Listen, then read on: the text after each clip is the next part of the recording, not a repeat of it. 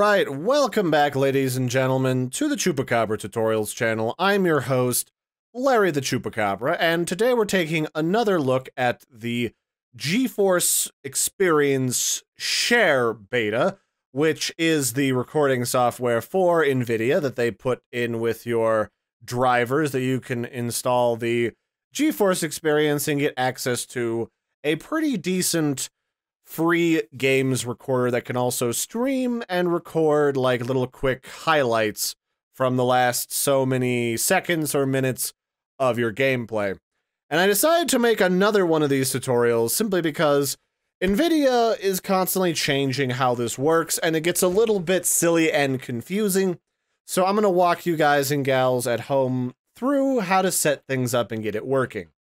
So the first thing you need to do is download the GeForce experience, and if you want to get the latest share version, you're going to need to download the beta of this. And then once you've got it open and installed, the first thing it's going to do is want to look through all of your games to try and recommend how you can optimize the settings for your system. And then it'll also have like information over here on the latest drivers for your computer. But what you really want to do is A, log into your NVIDIA account over here. I've got, I just have it set up as Larry Bacon because it's just the easiest for me. Because oddly, Chupacabra is either flagged as a word in everyone's database or it's just too long or taken, which is weird. But uh, Larry Bacon's my name in here. So in order to enable or use the share beta at all, the share program, which is the recorder and the streamer, is you first you got to enable it. So you go to settings by clicking on the little gear icon up here. And then you want to go down to this little box here that says share and just hit the toggle. And now you're able to get into the share beta or not the, well, the beta, but the program itself. And you can either click on this little icon up here that's like a share icon that you'd see on like a phone, or you can hit whatever you have set up for the hotkey to open and close it. Mine is Shift Alt plus the tilde key, which is the button right next to your number one key. And then once you do that, you will open up the sort of overlay that allows you to access your settings, turn things on and off, or adjust the quality controls to all of the different features. So there is a fourth feature in here that I'll get to in a minute, but for some reason it ended up being disabled temporarily for the purposes of this video. So the three primary categories that you've got for recording or streaming is the instant replay, which is this whole thing here is it records so many seconds or minutes all the time and you hit the the hotkey and then it keeps that video instead of throwing it out when it just sort of over records over what you've already been doing. So you can set this to as little as half a minute, so the last 30 seconds, or you can record the last 20 minutes of gameplay and this is mostly meant to be like a highlight reel type of functionality that you can use to like make a quick highlight reel clips. So most people will probably want to set this to like the last minute or like 30 seconds or a minute and a half. But it can go up as far as 20 minutes. But if you're going to do that, you might as well lay out your episodes and record them properly. At least that's my take on it. And then, of course, down here, there are some video quality presets like low, medium, and high. And these mostly have to do with the bitrate that it's recording your videos at.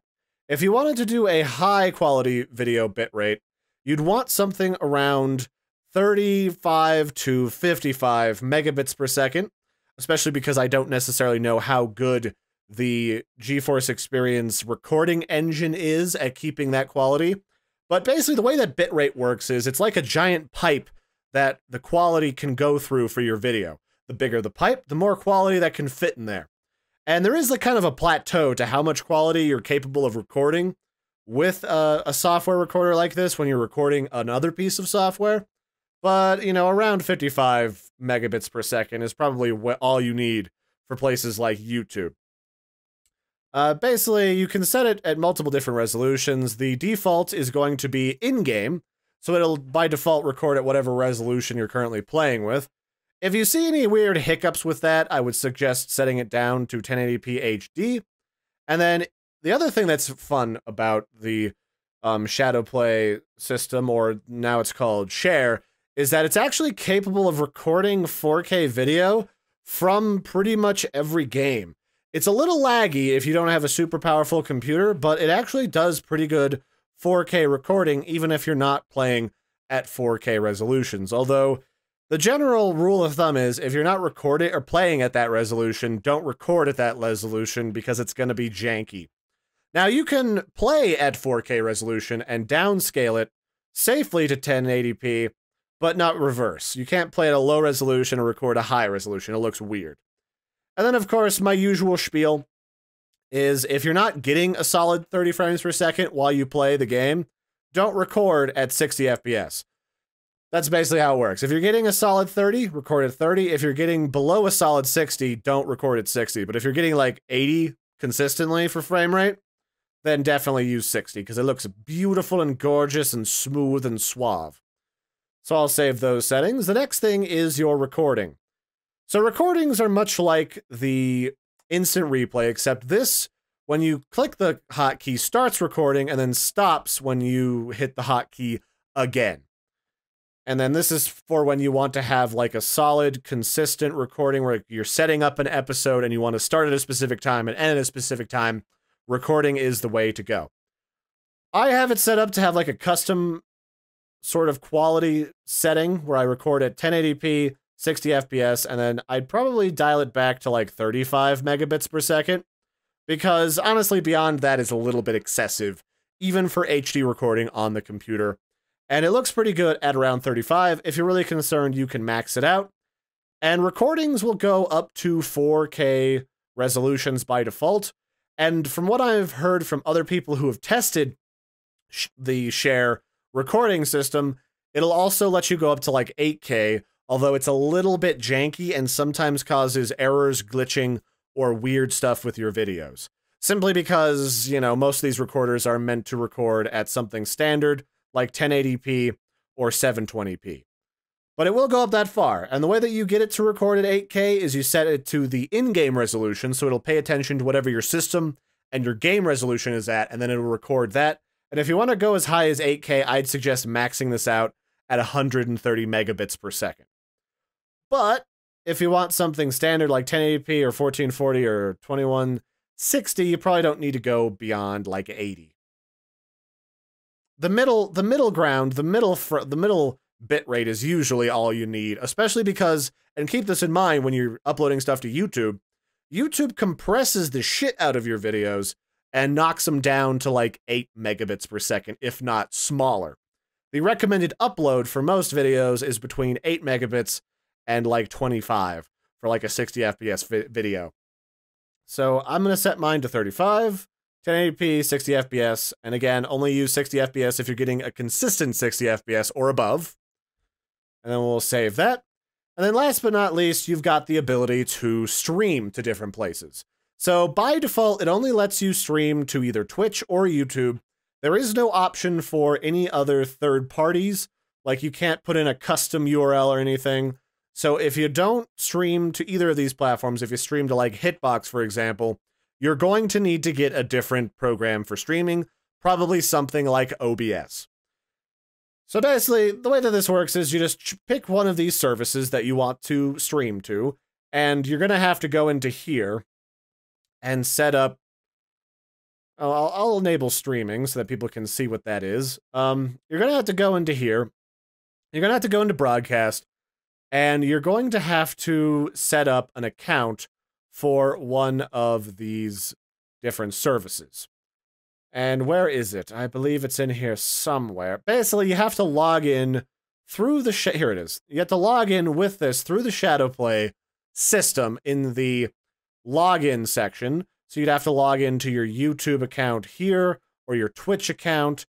And then you can also upload natively to Imgur with your screenshots and then you'd be good to go to select how you handle different broadcast settings, like broadcast games from my Chupacabra desktop to Twitch or to YouTube, and you can have it always ask or you can determine the default service that you want to stream to. If you stream to both, you can actually have it so that it asks you which one you want to send it to. You can upload a custom overlay that you can use, and then you can select the ingest server that you use for that particular service. So once we go back into here, let's go back to broadcast. So stop it. There we go. So basically, you just select whichever service you want to stream to currently, and then you can determine your settings. I can say that the presets are all right except for the bit rates. So for high quality or ultra quality, for say Twitch, the highest frame rate they prefer that you go is around 3.5 megabits per second. They will let you get away with up to 6 megabits per second, but the trouble is when you have a high, if you do this during like peak hours on Twitch, they might throttle you and the people watching your stream might see a bunch of buffering. So I'd suggest keeping it between 3 and 4 megabits per second so that Twitch doesn't get mad at you. And then again, if you get some solid frame rates, do 60. If not, do 30. And then again, and if you're not in possession of a super great connection, you might want to downgrade your resolution to something like 720. And then that's pretty much it. Just pick your bitrate, pick your frame rate, pick your resolution, and go from there. Uh, I do know that YouTube will pretty much accept whatever you're willing to hork down for it. So go go for broke with YouTube. Go like 1440p. Max that little that puppy out to like 9 megabits per second if your connection can handle that much of an upload speed. And YouTube just gobbles that right up because YouTube's got some big honking servers. And otherwise, once you've got that setting going, you can either start the stream, start the recording by clicking this and then clicking the start button or turn on for these instant replays. Instant replays are constantly on, and if they're off, they won't you won't be able to save any of your replays. So this you have to enable. Recording you start or stop like you would for any other recording program. Broadcasting's the same way, start or stop. And then what in the devil is streaming? So basically streaming is the availability if you have somebody else with the NVIDIA Share program, where you can actually directly watch one of your friends playing, like a screen share service, and you can actually allow them to take control of your game. This is a little bit wibbly wobbly. You can say watch, play, or play alongside if you want to do like a, a multiplayer game. But this is a little bit hinky, and I don't necessarily know how well it works. I will not be covering the in depth of how to use the stream functionality in this simply because I have no one to test it with. Just because not a lot of my friends who have NVIDIA really want to bother using the GeForce experience. So, the other stuff that's in here is you can set up some different overlays in your settings. Like you can set up a camera on or off. If you want to set up a camera, you can put it into one of the different corners. You can have a status indicator that tells you whether you're recording or streaming right now. You can have an FPS counter to tell you what your current frame rate is. And then you can also have the number of viewers that are currently watching your stream, depending on if Share has the ability to talk with that service and get that information back from you. And that's kind of nice. And like I was saying before, if you go into the broadcast settings, you can actually open up, you can click on this and actually it allows you to import a transparent PNG file so that you can have a custom stream overlay with which to brand yourself on one of these services. Uh, I won't really go into the specifications for this, but basically make sure this is whatever the say the resolution is that you're streaming or recording at, and also that it's a just a, a full size transparent PNG because you can't just have like a weird sized one and drag it around. There's no availability to do that in here. Next up, we went over connecting to your different accounts that you can share stuff between these. You can activate this overlay so that the different pieces are added to different portions of your game. And then you can change your keyboard shortcuts to whatever you like. Pretty self explanatory there. Recording, you can tell it where you want your recordings to be saved. I have a special recording footage folder on my second hard drive for that. You can set up your streaming settings to allow friends to try and join you. I don't really use that feature, so I'm going to turn that off. Broadcast, we went over gallery. You can ask where you want to upload your screenshots that you take from the program. Either you can upload them to Google Photos, to Imgur, or you can have it always ask you. You can have notifications set up so when you open and close the share, I'm going to turn notifications off, but these are pretty These are pretty self-explanatory if you want to use any of these. And then last but not least, the privacy controls. So if you're trying to record with with the NVIDIA Share via GeForce, and it's giving you an error that says you need to enable something in the privacy settings, that is this bottom piece in your settings. You need to come here, go to privacy control, and say, yes, turn on desktop capture for instant replays, recording, broadcasts, and screenshots. It really shouldn't require you to do this when you're playing games, but for whatever reason, it always, depending on the version of share that you're using, it sometimes always thinks that you're trying to record the desktop. So it's a good thing to have that enabled by default so that it doesn't give you an error, especially when you're running low on time or you're late to your stream and you want to get started immediately. And that's basically more or less everything for the GeForce Experience Share. The only other thing is you can view your gallery of videos that you've made. This also includes your screenshots. And then you can also enable or disable your microphone right here and customize it to utilize, like I'm using my Blue Yeti stereo microphone. You can set the volume for it, and this will take over your default system settings and change them, so be careful with this. And if you have it enabled for that microphone, you can also boost it to a certain extent. Like if I put this up to max, I can further boost it from there. But I just want this to stay at 55%.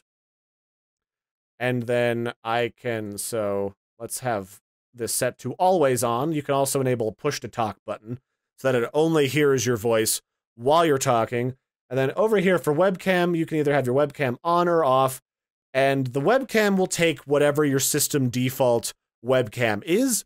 If you have more than one webcam enabled on your computer, look on the channel's video list. You will find a tutorial that tells you how to disable your default webcam if you're playing on like a laptop that has one built in. You can actually disable that so that the system doesn't even recognize that it's there, so that it will use your fancy like Logitech or Razer webcam by default.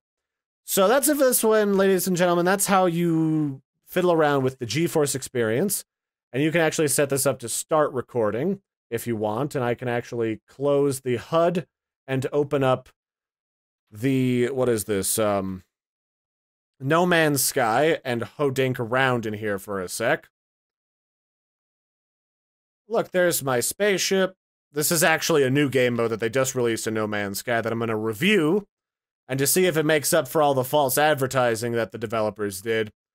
But so far, the game looks like the exact same pile of crap it was when it launched, so we'll just have to see how that works. So now I can tab back out, and then I'll go back to the GeForce experience, open up the share, and I'll stop the recording. Now I can go to the gallery, and I can actually look at this and play it. So what does this look like? You gonna let me play it? There we go. Oh, it actually lets you trim it up a little bit for when you... Okay, so I can set the start point to here and the end point to here, and then I can now upload just that little section to the web if I want. Oh, that's kind of nice, and I can determine the volume. Yeah, that's pretty good. I like that. So that's basically the whole of the GeForce experience. It's not really complex. It's just getting in there and getting started is never always the simplest because it used to be when you loaded in here, you had this tab for the shadow play, and then you could adjust all the settings from one settings panel instead of breaking it up into a lot of hidden settings where there's a bunch of different buttons that lead to a bunch of different settings, and that's kind of annoying. But yeah, so that's how you set up and use the NVIDIA Share program. It changes from time to time. If it changes drastically from this video, please let me know and I will do an updated tutorial and show you how all those settings work and explain some things. And until next time, I hope this video has been informative for you guys and gals at home. If you have any questions, throw those down in the comments. Don't forget to like and subscribe. Share this video with your friends if you want them to experience the wonderful fun of the share system. And I'll catch you guys and gals next time. Don't forget to like and subscribe, like I just said. And toodles, everybody.